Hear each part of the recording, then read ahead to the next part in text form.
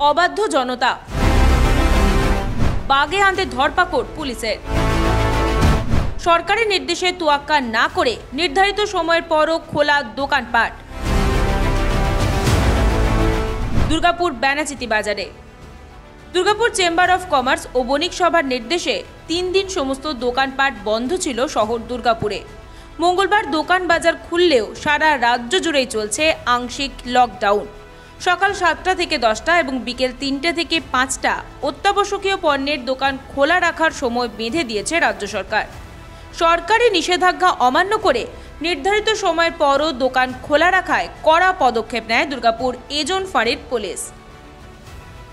কি বলব দাদা, তিন দিন তো এমনি বাজার পুরো বন্ধ ছিল, একসঙ্গে ভিড় পড়ে গেছে শুধু, তাই জন্য একটু লেট পর্যন্ত আছে। আর সরকারের একটু কড়াকড়ি করা উচিত যে এত করোনা বাড়ছে তো আমরা একটু কড়াকড়ি দোকানদার কোনো দিনও মানে না এখানটা। সব সময় দেখছি, আগেও লকডাউনেও টাইম ছিল, তার থেকে বেশি খোলা থাকতো। Samarendra Das LCW India Durgapur. সব খবর সবার আগে জানতে ফলো করুন আমাদের ফেসবুক পেজ সাবস্ক্রাইব করুন আমাদের YouTube channel LCW India witness the story